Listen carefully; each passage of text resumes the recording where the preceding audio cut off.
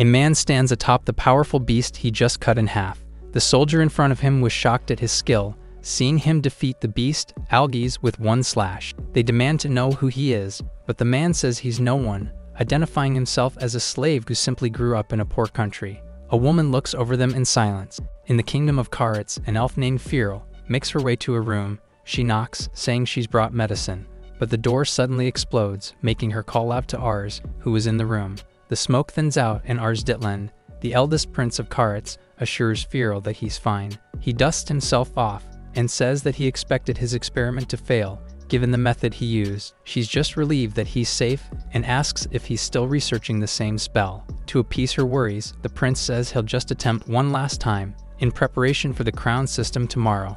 The crown system is a ceremony where aristocrats and members of the royal family exhibit their power, improving their skills by taking on the role of adventurers. Through the event, capable kingdoms are able to instill fear in possible invaders and, at the same time, bring hope to their citizens, thereby keeping territorial order between different nations. A small number of people are gathered to take on powerful enemies, which is also why adventurers are highly respected in kingdoms. Knowing all this, Firil argues, not understanding why he would challenge the gluttonous dragon alone. It's one of the four great dragons, capable of destroying an entire country's military power. She adds that even if all of Kart's knights came together to fight it, the outcome would still be uncertain. He resolutely says that as the eldest prince, he'd be fulfilling his duty by defeating the foe alone, as no one would then dare to invade the kingdom in the future. He tells her not to worry and just watch him, confidently promising to defeat the dragon and become the strongest wizard. The next day, the ceremony ensues, and the gluttonous dragon wreaks havoc throughout Karitz. Firil, also the leader of the kingdom's magic division,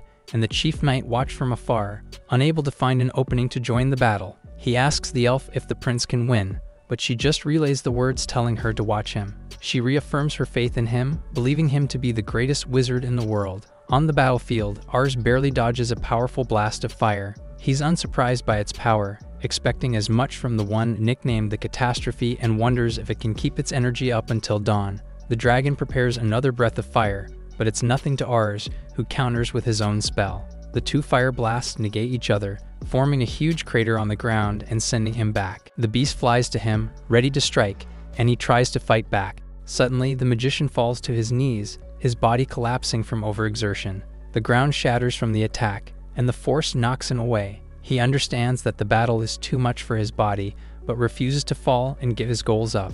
Knowing that he'd lose a prolonged fight, he concludes that a final spell focused on one point would be his only way to victory.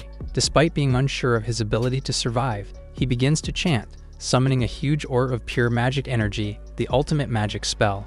The chief sees this, excitedly saying that it's something only their prince can cast. Ars condenses all the energy into a smaller orb, bidding farewell to the dragon and telling it to fear his power. He unleashes an enormous burst of all attribute magic, consuming the enemy's entire body. By the end of it, a path had opened up where the blast hit, leaving only the gluttonous dragon's head. It drops to the ground, and the magician smiles, satisfied with his victory. In front of him is the result of his attack a ravine like opening that extends far, splitting a mountain in half. He coughs, beginning to feel the effects of pushing his limits, but gives a smile nonetheless. In the kingdom a few days later, the dragon's head is displayed at a podium in front of the citizens, and everyone cheers for the prince's unprecedented crown system ceremony. He waves at them, but his mind is still preoccupied with the goal of finishing his resurrection spell.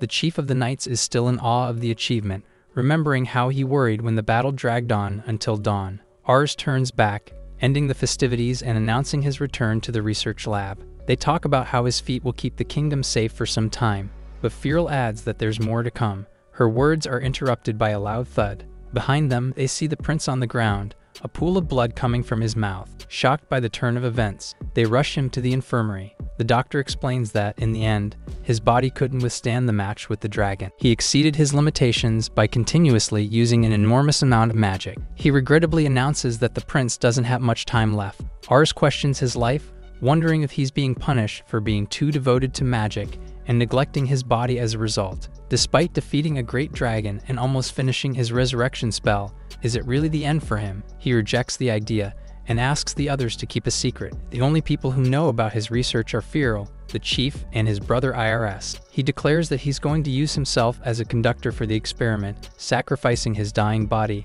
and separating his soul from his memory. The magician casts reincarnation magic, an untested spell he found while researching, despite not knowing the possible repercussions. The only thing certain is his imminent death, should he not do anything to survive. Ars tells his companions to forget him if all else fails, vowing to stay alive until he successfully creates the reincarnation spell. He activates the spell, and everything turns pitch black. He opens his eyes, finding himself in an unfamiliar, dark, and enclosed space. To make sure his spell worked, he faces a puddle and sees himself in the body of a child. However, he notices that it doesn't look like a Karitz citizen and guesses that he must come from a poor place given his tattered appearance. He waves it off, satisfied that he can continue with his research. A man, presumably his father, calls out to him, calling him Wiles. He says the boy is five now and must be taught to work. He's dragged up the stairwell, the man asserting that he must learn how to chop wood quickly.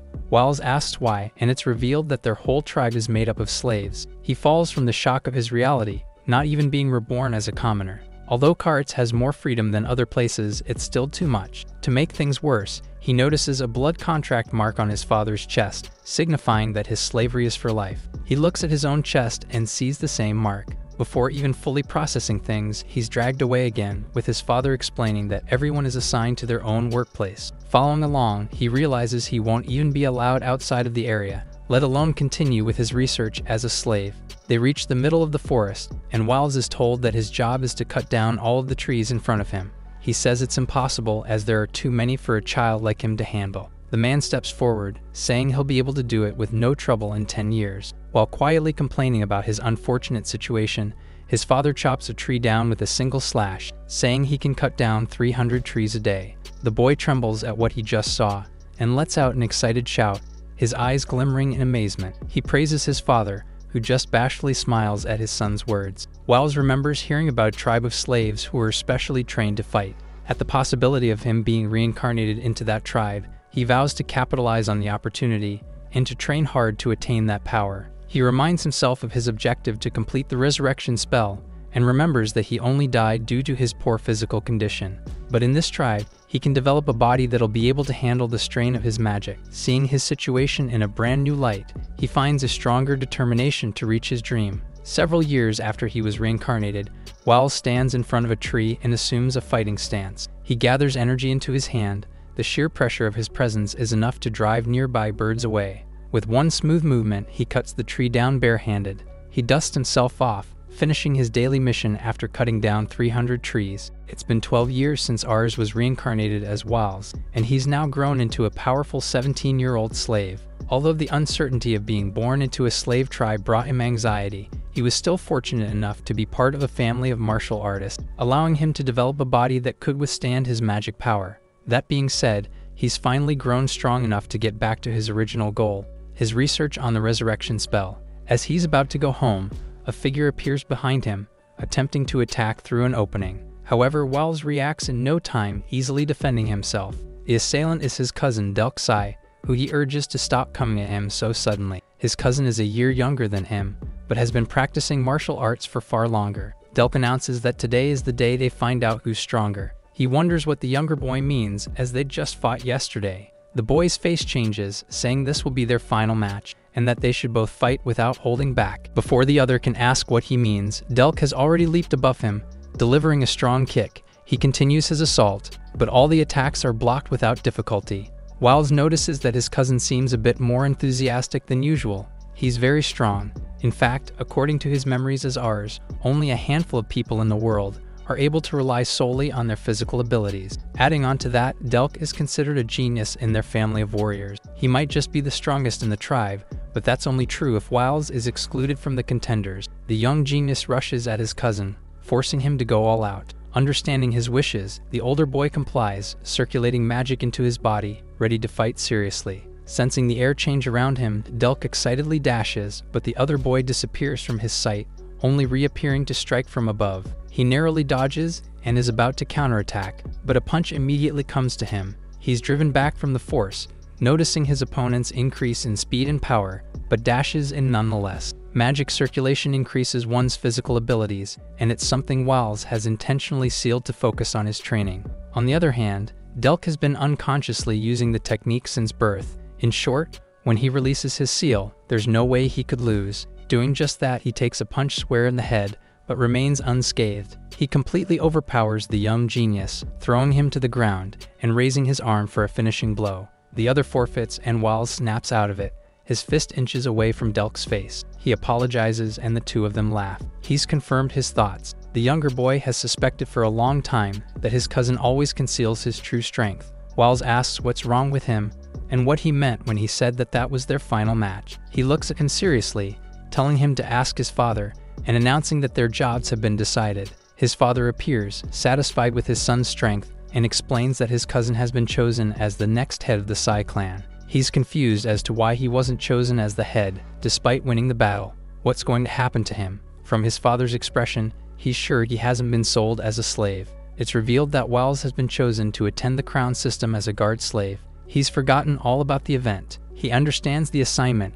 as the Sai clan is made up of fighters, but he still cannot believe that he's going to participate as a guard for a royal family. The usual candidates for the crown system are those who are strong, as well as their entourage. This includes the slaves with a blood contract, unable to disobey any of their master's orders, and best suited as guards. Refusing to just give up on his goal after coming so far, he simply asks which family he'll be working for. His father explains that he will be sent to the Rendabro family in the Kingdom of Eurasia, where he will work as Princess Celicia's guard slave.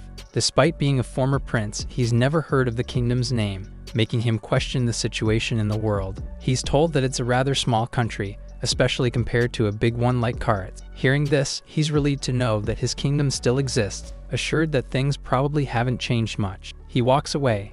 It's better this way, as smaller countries are more interesting. His father tells him that the royal family is waiting, and that he should set off immediately after he's prepared his things. Still worrying about how he might have been resurrected into a different time, he decides to investigate more once he sets off. It took him three days to reach Eurasia, and in that period, he was able to learn three things. Firstly, he was living in the kingdom of Clarina, controlled by the Clarina sect run by the Adventurers Guild. Secondly, the reincarnation spell had no time lag. Lastly, the body of Ars Ditlad is somehow still alive, but Wells has no idea how. The current king of Karatz is his brother Irs, and while it would be easier to govern if Ars were alive, he believes that his brother is not stupid enough to cover up his death. His thoughts are interrupted by murmurs from the crowd, talking about how filthy he is, obviously a slave. For the first time in 17 years, he's finally encountered ethical people outside of his clan. As such, he wasn't aware that he would stand out so much. A rag is thrown at his face, and people jeer at him, saying they wouldn't have to see his filth that way, and that it must be nice to live without worrying about anything. He takes the cloth off and walks toward a couple of women in the crowd. They scream, but he just holds a lady's hand and thanks her for opening his eyes. She falls to the ground, charmed by the slave. Wiles leaves, deciding to set aside his worries about his brother and his past body, instead intending to focus on his goal. He finally reaches the royal castle, where he presents himself to the king, who then welcomes him warmly. The slave questions what he's seeing. The king looks weak and unsightly, almost as a symbol of a nation, only proving how small of a country Eurasia is. He's confirmed that it's a nation just outside the five major kingdoms, and that the entire territory is only about as big as Karatzi's capital city. The king acknowledges his strength, confident in entrusting him with the princess' safety. Guarding a princess rather than a prince is rare, but he's determined to fulfill his duty regardless, eager to continue his research eventually. Princess Celicia walks forward, and the slave is speechless at the beauty of his new master.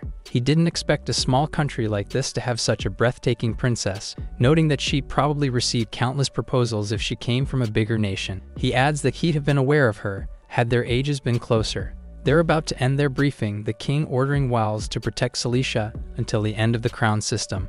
When the princess interjects, she walks in front of the guard slave and declares that she has no need for him. The two men are baffled at the unexpected rejection. Celicia and Wiles are seated in front of each other for lunch. The table is set, and the princess calls for them to begin. He thinks back to their time in the audience room, where she said that she doesn't need a guard, who doesn't even have table manners. Her words made him realize how naive she is, underestimating the dangers of the crown system and focusing on trivial things like manners. However, he has no choice but to gain her trust, else he stray farther from his goal. He asserted that he's familiar with table manners, and now they're having a meal to prove it. The former prince eats politely, gently setting his utensils down after. Confident in his past experiences as a prince, he asks the princess, who then fails him. Puzzled, he wonders if certain standards and practices have changed in the past 17 years. He asks her how it's supposed to be done, and she gracefully shows him how to have a meal. She arrogantly tells him that that is what manners are. Before she could boast any further, he picked up his utensils and began to eat again, now matching the movement and attitude of the princess. They're surprised at his immediate adjustment. After his meal, he apologizes for mistakenly assuming that she would follow Karat's etiquette, realizing that she observes the Xiaolining way. She doesn't know what he's talking about, but laughs nonetheless, saying he passed. The princess thought he was a brute who knew nothing but fighting, but he proved her wrong, even exhibiting control over his emotions. She explains that she tested him, as she doesn't want anyone shady by her side, and that he just barely earned her trust. With their new relationship, they head to the rooftop to see the princess' magical abilities. On the way, they stop by a bed of Balmuth flowers. Admiring them, Wiles comments that they're extremely difficult to grow, but are flourishing quite well in their garden. She's surprised at how knowledgeable he is, perhaps too much compared to other slaves. Salvaging his cover, he simply studied hard to guard her well, adding that everything he does is meant to ensure her safety. Embarrassed by his bluntness, she shyly accepts his words, while he's just relieved to have gotten out of the situation. Celicia notices a smaller bud among the Balmuth flowers and reaches out to hold it. Her guard spots something odd and swiftly stops her hand before she can touch it. Surprised at his sudden actions, she commands him to let her hand go, but he refuses, saying the flower is dangerous. He explains that it is not a Balmuth, but a Balmuth Madoki, a poisonous variant containing neurotoxins, recognizable by its different petals and thorns. He concludes that someone must have wanted the princess to touch it and intentionally planted it in front of the bed. He looks to the horizon, realizing that the job will be a lot more difficult than he thought. He sees the kingdom properly and is stunned by the breathtaking view of the developing nation. Celicia calls his attention and tells him to prepare himself, as he's about to witness the simultaneous manipulation of all four elemental attributes. Wiles is surprised by her declaration as a magician himself. He knows how rare it is to find someone capable of the feat. His expectations are quickly watered down, as he sees her barely summon low-level spells, Although he is surprised that she used all four attributes, the slave asks if that's all she can do, provoking the insulted princess. Accepting his boldness, she tells him to watch as she unleashes her strongest spell.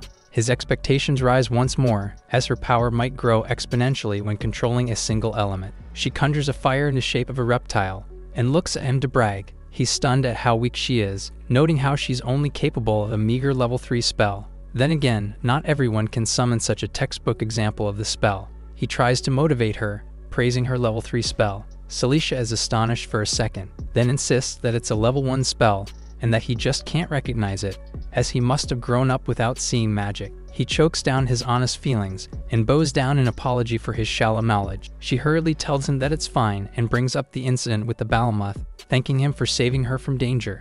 He begins to say something about the crown system, but she cuts him off. She tells him to stop calling her Your Highness, to which he asks if Master is more to her liking. Wiles inches his way closer to what the princess wants to be called, and she eventually tells him to call her Celicia, preferring to be addressed as an equal. She reasons that such formalities would make her a target, and that she doesn't want others to know that her family has guard slaves. He stands up properly and tells Celicia that he looks forward to working with her, adding that she needs to buy him new clothes as his current appearance easily gives out his identity. She accepts, but is surprised at how fast his attitude changed. Wells and Celicia arrive at the Adventurers Guild, Chloriana's headquarters, marking the beginning of the crown system. They head to the guild quarters first, as nobles such as Celicia must confirm their identity before becoming adventurers. She waves his explanation off and notes that clothes truly make the man staring at him. Failing to register the compliment, he thinks that the princess is insulting his new equipment. He's called an idiot, but the guard is satisfied as long as he looks reliable. She comments on how quickly he changes his attitude, but he tells her to pay no mind to it, as it's just how he is outside. Remembering where they are, Celicia reminds Wiles of his duty to protect her, and he reassuringly tells her that no one can touch her while he's around. As usual, she's embarrassed by his words and runs away to register them. He wonders if he said something wrong, thinking about how their mental gap is similar to that of father and child. He hears shouting nearby, salespeople boasting of their achievement. These people are those who wish to join the Society of Noble Adventurers, but won't even be spared a glance by senior nobles. He says it's pointless, and Celicia, swiftly returning, Asked what's pointless, he explains that nobles will pay them no mind no matter how much they promote themselves. If they're truly talented, then the guild would have recommended them, and the fact that they weren't is a testament to their inadequacy. The princess is once again amazed at how knowledgeable he is, constantly surpassing her expectation, but he says that the way they casually speak to each other is already far from a common slave's experience. Regardless of merciful and kind rulers, this is the first time he's seen royalty have such a relationship with a slave. She's a strange princess, who doesn't even think about the difference in their status, truly treating him like an equal. He asks about her experience in the guild, expecting her to have received a low-level mission. Against all expectations, she pulls out a guild request to defeat Era, the Rage Dragon. He shouts at her, questioning her decision as Era is one of the four great dragons on the same level as the gluttonous dragon walls beat at his peak. The guild staff told her the same thing and suggested that she take on something else. As such, she decides to take her guard with her and asks him to take a look at missions they can accept at the guild. She adds that she wants to see his skills for herself and that it'd be okay given his knowledge of requests. He accepts, planning to avoid all the reckless quests that are too risky. In the guild, an old man shows them what they have and recommends missions ranked A and B. Meanwhile, Wells notices the number of requests from the Karitz Kingdom, which takes up almost 80% of the stack, with the rest coming from faraway countries. The man says it's only natural, as it's a great nation, but the former prince knows better. He's well aware that a multitude of adventurers gather there, making it odd for the kingdom to send in so many requests to foreign lands. Additionally, the amount almost doubled from the time he was still there. Wanting to know more about the situation, he accepts a Karitz-based mission. During their dinner, Celicia asks why he took the request, doubting his decision to pick a B ranker and wary of the Destroy the Heretics title. The guard explains that, among the B ranks, it seemed to be one of the safer ones, and that they could gain several benefits from the church-backed mission. Furthermore, requests of that rank aren't usually so simple, so they can consider themselves lucky to encounter such a beneficial one. He turns his attention to the oddly high number of listings from Karitz, noting that the kingdom invests a lot in the church, making no room for heresy in the first place. Their food arrives amidst their conversation, and the princess is disgusted with the meal placed before her. Although she's lost her appetite from the sight alone, she says she should get used to it. Wells appraises their food and sees the presence of a small amount of poison in his. He wonders why, but eats anyway. Meanwhile, Celicia asks him if he's noticed the others watching him, explaining that they're jealous of him for accompanying someone as beautiful as her. The guard realizes that this must be the reason they tried to poison him. Moving away from the conversation, she mentions that according to the man from the guild, all the adventurers who took on the quest before them have disappeared, which is why it's a B rank. He nonchalantly drinks his poisoned beverage, saying many requests are upgraded when unfulfilled for a long time. She comments on his enthusiasm for his first quest, but for him, anything is better than fighting a great dragon. Wells then tells her that she isn't eating properly and chomps a chunk of meat into his mouth, holding it by the bone. He points toward everyone else in the room, and she sees them all eating the same way. The guard expresses that he's just worried about her, as her cover will be easily blown if she continues to eat like royalty. Accepting his reasoning, she makes peace with her situation and bites down. He smiles, satisfied with her determination.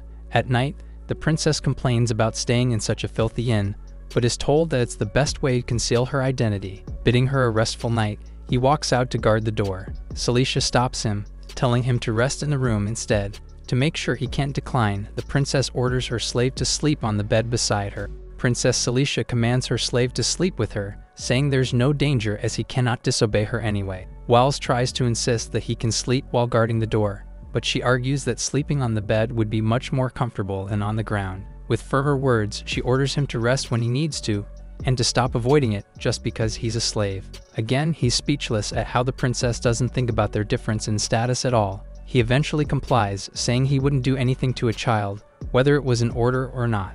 Angered by his words, she asks if he just called her a child. He begins to say that he's well past 40, but catches himself and says he's 17, only a year older than Celicia. She looks at him suspiciously and cautiously asks if he likes 40 year old women. A somewhat judgmental look on her face, she criticizes his taste and turns around to sleep, denying all of Wells' attempts to explain and defend himself. He sits on the bed, sighing at the misunderstanding. The next day, they set out on their mission, beginning at the Gate of Karitz and heading to South Laurier, where several adventurers gather. When they reach the local guild, they're greeted by an empty hall. A staff member stands as the lone person inside. There are usually at least five to six parties in the guild, And what's odder is that there were no adventurers in town either. Unable to find anyone else, they walk through the town, talking about the quest. Wells thinks about how the church would also be affected if the issue really was related to heresy. However, even the staff had nothing to say, only guessing that the number of adventurers must have decreased along with the number of quests. While the princess feels like they've hit a dead end,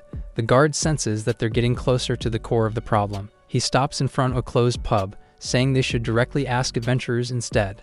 Most pubs are closed at noon, so they decide to come back later. At night, the two walk to find a pub they can search, still unsure if there will be any adventurers. Wiles says that's another thing they need to confirm, and that they must leave immediately if that really is the case. The princess suggests that they should look into those situations, still unaware of how dangerous her position is. The guard says he'll investigate the pubs alone, dissuading his master from joining the dangerous mission. Interrupting his lecture, Celicia reminds him of their duties, hers being the completion of the crown system, and his being to protect her from any potential danger. Continuing, she declares that she cannot just sit around while he does everything, and that this is an opportunity for her to grow as well. Finally, she says that she hates being so ignorant all the time, staring right into his eyes. The guard stops arguing, but insists that her safety is the top priority. He adds that it would be much better if they had another guard, allowing them to attack and defend at the same time, but the princess shouts that she can fight as well. He's telling her to avoid straying too far, but suddenly sees a group of cloaked figures surrounding them. Immediately getting an idea from a quick glance, he asks them what they want, as they aren't even holding their swords properly. Celicia cowers behind him, despite being confident in her ability to fight just moments ago. He gives them a chance to drop their swords, but smells a sweet scent in the air. Sleeping incense, a drug that makes people lose consciousness. It's not potent enough to take him down, but the princess is already fast asleep. He catches her from falling, questioning the situation as the men even resorted to such tricks. The assailants, on the other hand, are confused as to why Wells is still standing. Intending to interrogate them, the guard swiftly takes a man down with one strike, still carrying the princess. He stands over them, demanding an explanation for their actions. Under the cloak is a frail old man wearing a cross necklace. Realizing they're no match for him, the others drop their weapons and beg him to let the man go. They explain that they were the ones who begged him to participate in the attacks. With a pitiful look on his face, a man shouts that they only attack adventurers. In a house, Celicia is still unconscious from the drug, while Wells interrogates their attackers. They'd briefly explain that, in recent years, increased taxes have made locals struggle. To make ends meet, a lot of them have resorted to recklessly attacking adventurers, all because they were too poor to keep up with the fees. The old man adds that their lords simply raised their taxes upon the king's orders. Wells wonders if his brother has turned into a tyrannical king and realizes that the men in front of him are the reason why there are no adventurers in town. They try to excuse their behavior, saying they never killed anyone and that they only stripped them of all their money and equipment. The guard notes that even that is already terrible enough. He brings up the topic of increasing heretics and, with a menacing expression, asks if they committed those acts in the name of heresy. They all vehemently object, pulling out their cross necklaces, and explain that they belong to the Clarina sect. Those who sin and listen to evil words have no place in the town. Given their crosses, he confirms that the group isn't made up of heretics. The old man, apparently the mayor of the town, slams his head on the table, saying he will accept the punishment for their actions alone. The others try to stop him, but Wiles says it doesn't matter anyway, as all the adventurers they defeated probably wouldn't have lasted in the field anyway. To their relief, the guard lets their sins slide, but warns them that others may not be as forgiving, and that they could lose their lives on the spot. The mayor understands, knowing that they only got this far, since the previous adventurers only ever carried cheap equipment. He adds that they attacked the pair, as it was the first time they'd seen such high end equipment, and that they were tempted by it. Wiles sums it up, saying only low ranked adventurers have come to town, at least since the locals began attacking them. It is a strange situation, given how the evil cult has yet to spread to the area. Due to its location right by the southern gate of the Karatz Kingdom, the place should be filled with both high and low ranking adventurers. There must be a different reason for the issue, they just haven't figured it out yet. The guard says they're going to spend the night there, as the princess is still unconscious from the sleeping incense. The others immediately prepared a room for them. Later on, Wiles and Celicia are wandering through an unpaved forest looking for something. Their goal is to destroy the evil cult, which usually takes over small villages, before gradually invading the big city in the middle of it. From this information, it's likely that the cult's base is situated in the village near Mid River City, They follow the mayor's directions and have been walking through the forest for three days. Celicia complains and her guard remarks that she has a lot to improve on, listing down her recent shortcomings and warning her to stay on her toes. He looks up at the sky, unable to feel the presence of monsters or living creatures in the area. Just then, he senses something and tells the princess to stop moving. A bloodied man rushes at them with a scream, but the guard swiftly slams him to the ground, asking what he's doing. He notices a deep wound on the man's back and the crest of the adventurers from the Cassandra Kingdom. He asks if Wiles is one of them. Before he could clarify, a burst of fire shoots at them, but he easily ducks down to dodge. The area hit then explodes. A female mage emerges, accompanied by a burly man. The wounded adventurer explains that the pair are from the Rain Kingdom and hunt high ranked adventurers who come into the forest, taking down his teammates when they arrive. The woman says she can't hear him and pulls out the severed heads of the man's companion. She finally notices Wiles and Celicia, who she guesses are participants in the crown system, noting that the guard seems especially strong. A couple more men appear behind her, and she declares that they will be taken care of quickly. The princess trembles in fear, but her guard calmly steps forward, asking them which god they believe in. The woman proudly announces that they're followers of God Edina, laughing at his question. Satisfied with her answer, Wiles draws his sword and pierces through the woman in an instant. Not even realizing what happened yet, he then kicks her away, driving her through a tree. He says they're irrelevant to their quest, so he doesn't need to bother with them too much. Determined to fulfill his duty to the princess, the guard spares no restraint in taking her down. Terrified, the last member of Team Rain begs for mercy. Celicia and the man from Cassandra Kingdom watch as Wiles slays the man in one blow. Afterward, Wells tends to the wounded adventurer as he rides in pain. The man quickly recovers and inquires about Wiles' name, deeply impressed by his ability. Wells introduces himself and Celicia as adventurers from Eurasia. The man is visibly clueless about the small kingdom and mentions his intention to return to South Laurier. Wiles advises him to report the incident involving Team Rain to the Guild. The man agrees as he recalls the cruelty that happened to his team. As a token of gratitude, he hands Celicia a bag brimming with gold coins, leaving her bewildered.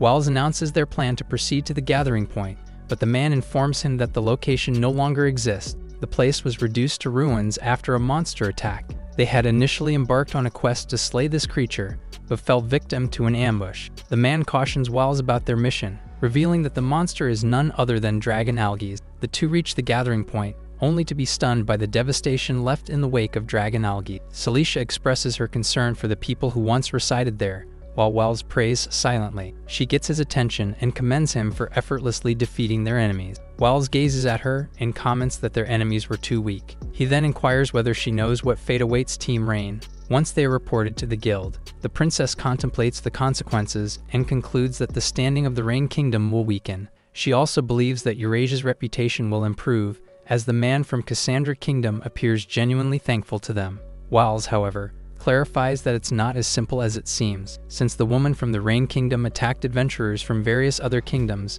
their kingdom could face retaliatory strikes once the news spreads. Celicia acknowledges this, but is convinced that Wiles' actions must somehow benefit Eurasia. He confirms that Eurasia won't be mentioned in the man's report, which puzzles Celicia. He explains that the man must have discerned their intentions, which is why he rewarded them with gold. Celicia remains confused, prompting Wiles to reassure her that she'll understand once they reach Midriver.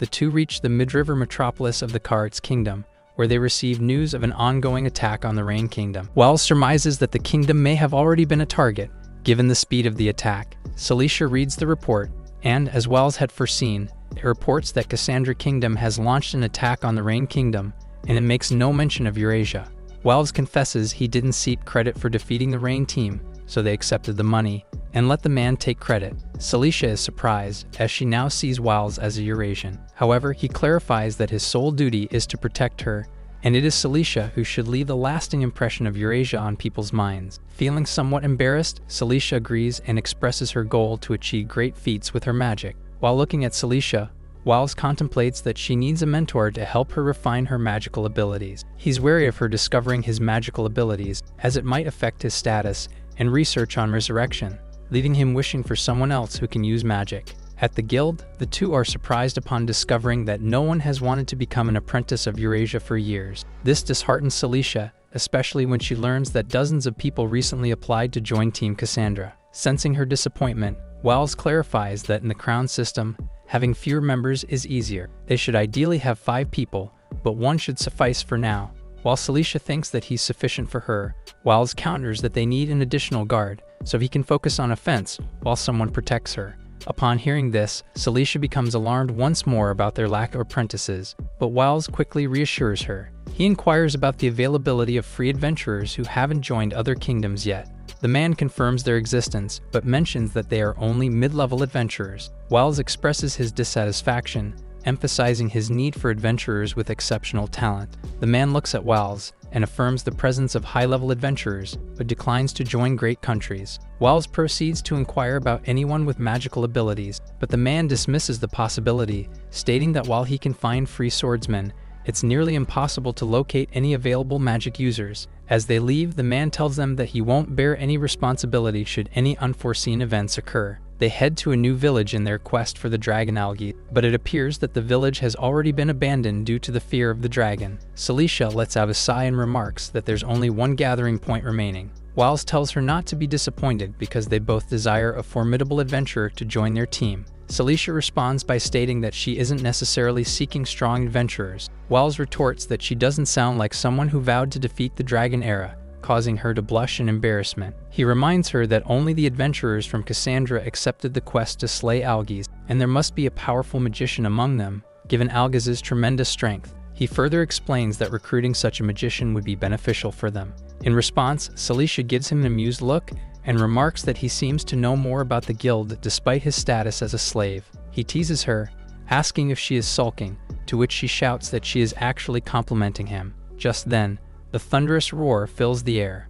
Wiles quickly recognizes it as coming from Algiz and immediately rushes outside. Upon seeing smoke from the nearby mountain, he instructs Celicia to stay close, and they make their way through the forest toward the mountain. While they can hear the dragon's roar, Wiles doesn't hear any explosions, leading Wiles to speculate about those engaged in the battle with the dragon. They finally locate the dragon and witness a group of swordsmen engaged in an intense struggle to defeat it. The swordsmen charge forward, and launch a coordinated attack against Algiz. The two are amazed at how they fight head on, and Celicia is surprised to discover that all the swordsmen are female, as evidenced by their purple armor. Wiles remarks on the exceptional toughness of Algiz's skin and states that magical attacks might be more effective than swords, but surprisingly, the six swordswomen hold their own. However, what truly struck Wiles is the female warrior leading the swordswomen, as she exudes a remarkable sense of power. Meanwhile, the female warrior observes them. Celicia inquires whether Wiles intends to assist the swordswomen, but he responds by explaining that what they are currently facing is likely a male Algiz, as the female one is significantly larger and more dangerous, especially if it hasn't had enough food during pregnancy or while raising a newborn. As he mentions that it's also Dragon's mating period, a deafening sound echoes through the air. Celicia panics upon seeing a larger algae soaring above them. Wiles confirms it's a female Algiz while marveling at its size. Celicia scolds him, stressing that it's not the moment for admiration. As the dragon is heading straight for them, she becomes frantic, urging him to run. But Wiles responds by explaining that fleeing would be futile, as the dragon could easily catch up to them.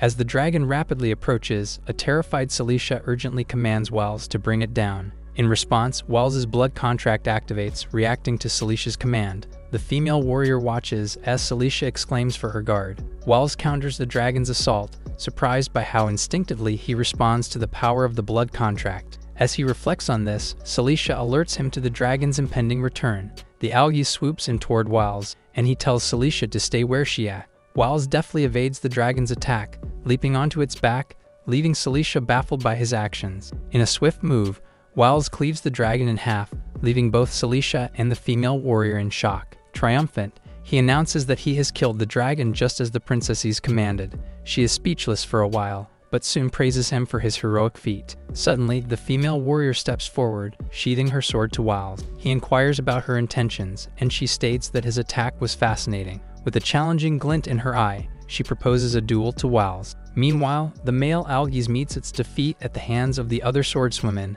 who witness their leader, Nea, proposing a duel. Wiles accepts the challenge and reassures Celicia that he merely wishes to assess her strength. He believes her to be skilled enough to challenge him, even after witnessing him slay the Algiz. Wiles inquires about determining the winner, to which Nea lets him decide. The duel commences, and a frightened Celicia watches anxiously. Nea takes the initiative, launching a powerful attack, swiftly countered by Wals. Celicia screams as the impact of the attack resonate. The warrior is taken aback by Wals's defensive skills, impressed by his rapid reactions. She presses on with the battle, even unsheathing her second sword, revealing herself as a dual wielder. Wals, recognizing the strength of his opponent, becomes increasingly fired up.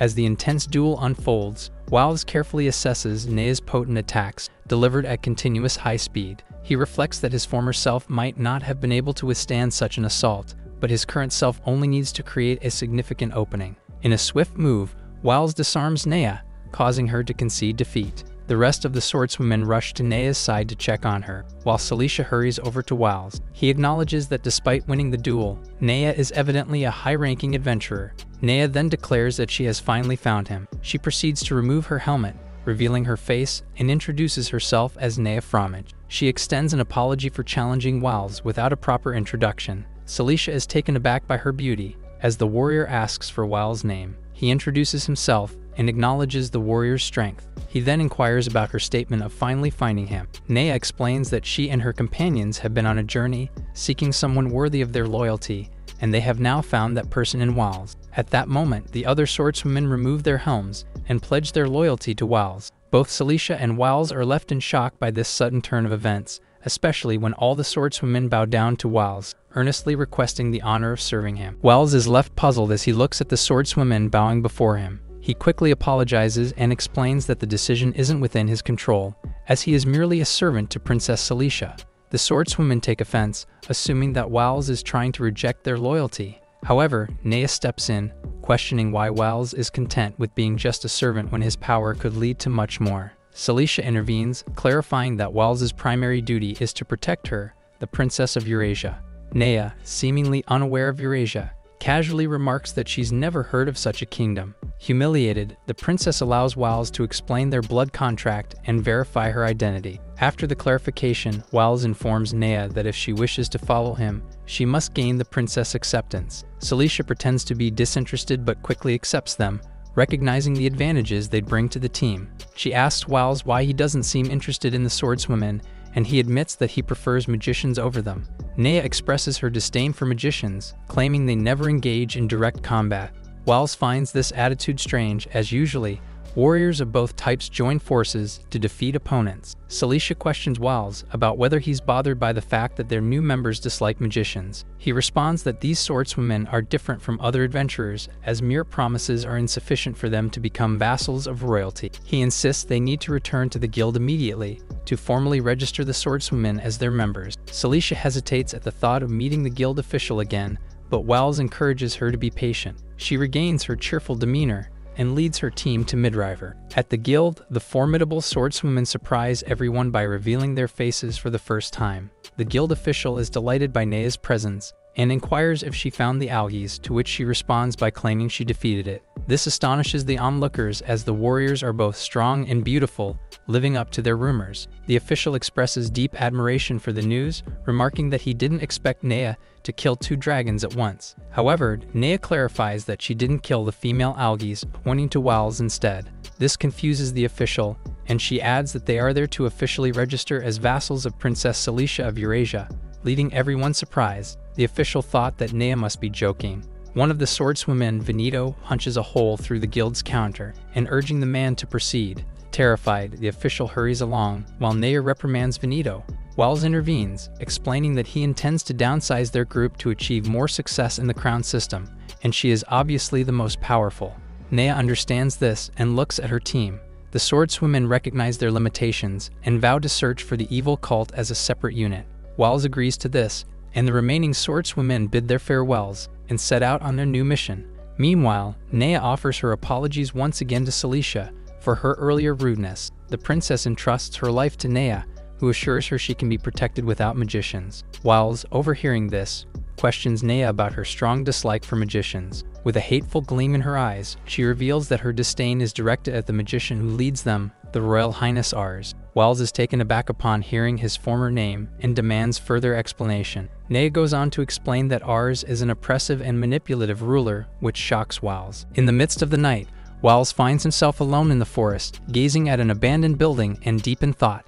After settling into their lodging, Naya approaches him with a request to have a private room. She clarifies that it's not a complaint, but rather due to her discomfort with sharing a room with a man, given she's never done so before. She awkwardly tries to explain, leaving Wiles feeling equally uneasy. Celicia interjects, mentioning that Wiles is her first time as well, making the situation even more awkward for him. Naya blushes at Celicia's remark, but Wiles clarifies that he shared a room with the princess because of his duty. Now that Nayad is here, she can stay with Celicia, and he can sleep outside to keep watch. Celicia objects, insisting that Wells deserves a proper bed. He counters, explaining that more people knowing her true identity makes them vulnerable to threats like those from the Rain Kingdom. Thus, they need to exercise caution. In the present moment, Wells reflects on how Naya and her team have made his job easier, with her guarding Celicia and the rest of the group searching for the evil cult. This grants him more free time to focus on his personal objectives. He returns to his earlier thoughts about his previous body of Ars being alive and controlling his brother Irs. He swears to investigate this mystery as he enters the abandoned building and pushes open a door. Inside, he finds a room filled with numerous deceased monsters. In a flashback to the morning, Wiles gathered information about the evil cults. At night, he collected the corpses of monsters slain by adventurers. In the present, he surveys the pile of corpses he gathered and begins casting a magic spell, creating a resurrection circle around the lifeless creatures. He infuses more magic, and the cadavers start to stir and groan, their wounds healing. However, Ars's magic, as he knew it before, was far more potent, and he needs more practice. One of the goblins breathes and moves, but quickly stops. Wiles wonders if he took too long to cast the spell, as he channeled magic into the atmosphere instead of using his own. Undeterred, he continues to perform the spell repeatedly, but after numerous attempts, he still hasn't succeeded. He observes that the goblins can only make slight movements, similar to the effects of his premature resurrection spell. He realizes that he must locate the magician who revived Ars's body and inserted another soul inside. This is the key to saving Karitz from oppression, but he acknowledges that it won't be easy. He apologizes to the goblins he experimented on, explaining that the spell will dissipate by dawn, and they are free to do as they please until then. The next morning, Celicia asks if Wiles slept well, reminding him not to be distracted if he stayed up all night. He replies that Naya can still guard her, but the princess dismisses this notion. Naya comments that the princess cares deeply for her guard, but may not know how to express it. Suddenly, they hear a commotion and witness a group of adventurers rushing through the forest. Wiles is puzzled and Celicia inquires about the situation, while Naya suggests it might be an emergency quest. Wiles becomes alert upon hearing this, especially when Celicia reports that abnormal creatures have emerged in the forest, specifically creatures known as goblin zombies. Wiles ponders this new information, realizing that it's the first time he's encountered the term goblin zombies, indicating that these creatures have somehow risen from the dead. A sudden realization dawns on him, and he fears that he might be the cause of this problem. The goblin zombies are particularly troublesome, as they instantly regenerate, no matter how many times they're cut. Naya wonders if it's a new type of goblin that's immortal. They point to the direction the monsters supposedly came from, but Celicia says that it doesn't concern them, as the problem is unrelated to the crown system. However, Wiles insists that they do. The resurrection spell should have worn off at dawn. There's no way they're still moving. Fortunately, nobody knows that he caused the mess, planning to take care of it himself before the damage spreads. The princess calls him, but he asserts that it's interesting and might be related to evil cults. The newcomer agrees with him, saying they can show off their power with this quest. Celicia is left with no choice but to accept, but notes how her guard is uncharacteristically interested in something. Suddenly, adventurers come rushing in, fleeing from the horde of goblin zombies. The princess panics at their unexpected arrival, but Wiles calms her down, saying she has nothing to fear. He thinks back to the previous night, when the goblins had no shred of intelligence. Doubtful of the adventurer's words, a silhouette emerges from the forest, towering over the party. The foe is a moving mass of goblins that seem to have melded to form a huge body. While the two are preoccupied with their thoughts, Naya asks for permission to try first and leaps to the monster's head.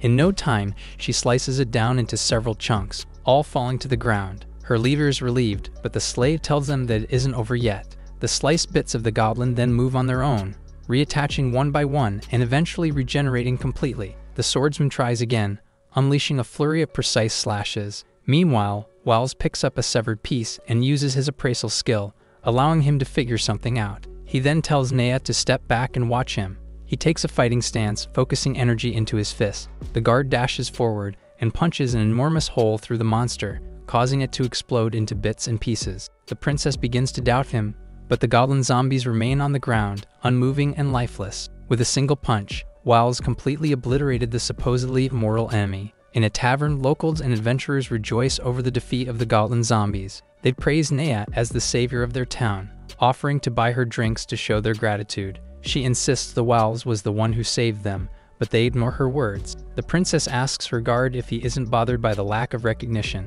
but he says he's relieved, fortunately avoiding all the attention. She then asks how he took the goblin down, wondering if he got an idea to stop it from regenerating. The answer was all attributes neutralization magic. The resurrection spell was a combination of various magic types, one of which was time rewind. To resolve the commotion he created, he simply had to cancel the rewinding magic out. Unfortunately, he couldn't reveal all that. Just then, the door opens with a band, and a loud voice resonates throughout the bar. A woman is looking for the person who slayed the goblin zombie, demanding that they step forward. Everyone is shocked when they realize who it is, dumbfounded at her presence in such a place. She repeats her demand, hurrying everyone up. Wiles asks who she is and is hastily informed that she's Festerized Ditland, the first princess of Karitz. Putting things together, he realizes that the arrogant woman is her niece. He looks at Nea, who is taking most of the attention for the feat. She's motionless, observably nervous. The slave stands to identify himself, and the princess sneers at his insolent demeanor. She says stupidity is a crime that may destroy him someday, and calls him outside to explain, understanding that he's not from the kingdom. Outside, she tells the soldier to be thorough. Wiles recognizes that the old man before him is Dallas, the chief knight of Karitz, and his former sword fighting teacher. Most importantly, he's one of the two who were present when Ars cast the reincarnation spell. He wonders why he's with the princess when the chief asks if he was the one who subjugated the goblin zombie. He confirms the fact, playfully asking for a reward. His companions come out as well, and Dallas recognizes the Sword Princess, who is reported to have joined a party from Eurasia. She begins to show hostility, but Wiles stops her, claiming the chief as his opponent. He asks what their objective is, and the old man initially thanks him for defeating the monster. However, he prods at the possibility of him causing the abnormality. He's shocked, wondering how they managed to link him to the incident. Dallas explains that they received a testimony, which said that he was seen in the area where the goblins appeared first. He senses the danger of the situation, knowing that the blood contract would force him to reveal his identity should Celicia order him to tell the truth. The exposure of his magical capabilities would have several drawbacks, all leading to the further halt of his research. In other words, losing the princess' trust would end everything for him. Celicia then declares that Wiles is her personal guard, and demands that they stop making such accusation. He tries to stop her, but the chief adds that he also knows about them, accepting the quest against evil cults. He'd have no suspicions if they gave their names and openly investigated, however. They chose to do it secretly. Just as sharp as always, he lays a trap, waiting for the party to fall in. Knowing that beating around the bush will get them nowhere, the guard asserts that they aren't heretics. He bravely brings up the topic of Ars Ditland's death 17 years ago, saying it's no wonder evil cults have become widespread throughout the kingdom.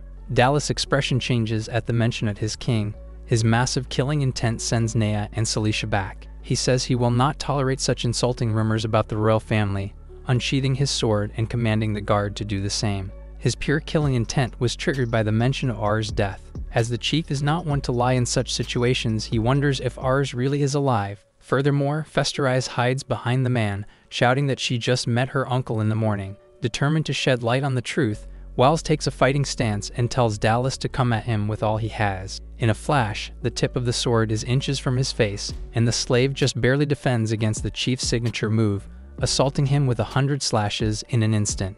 It's been 17 long years, but the blade of the strongest swordsman has not dulled at all. He comments that the old man's true ability is incredible as always. Insulted by the boy's words, the knight says he doesn't remember ever showing him his true ability, then proceeds to unleash even more slashes, pushing Wiles back. Dallas continues his assault. Overwhelmed by the speed of his slashes, Celicia cannot even see what's happening. Nea has heard stories of this before. By continuously slashing at a tremendous speed, the chief creates a space that is both the strongest attack and an impregnable defense. In other words, it's a shield of slashes. The princess tells her slave to retreat, as he has no way of getting close. However, Wells rushes straight at the shield, worrying his companions. He arrives at the technique's point of reach and begins to defend against all of the slashes. The Sword Princess soon understands his actions. The guard slave, with a method that suits him the best, plans to break through the shield of slashes. Simply speaking, Dallas is the best swordsman on the continent, and it's not a good idea to fight him head on. However, Wilds is amazing at sword fighting himself and has inherited the Psy clan's incredible physical capabilities, allowing him to react to each and every slash he sees. He rushed in, confident that he could do it. In other words, no matter how many slashes the chief makes, none will reach the guard. As expected, Wilds powers through all of the attacks, shocking his opponent. With terrifying focus in his eyes, he drives his blade down, breaking Dallas' sword in half and ending the battle. Sheathing his sword, the victor says that they wouldn't have had such a wide gap years ago and that 17 years without a worthy opponent have left him dull. With a smirk, he says that his former teacher's age has gotten the best of him. He approaches the chief and confirms that Ains is following Ars' orders. The man is shocked at his question, demanding an explanation as to how the slave knows. Festerize cuts in, grabbing her guard by the collar and scolding him for such a shameful loss. He apologizes, emphasizing that it's impossible for him to defeat such a talented man and urging her to retreat and reorganize their plan. The princess is outraged by his disgraceful attitude, telling him to wait for his punishment when they return. She notices that several onlookers have just witnessed the entire battle and are now watching them.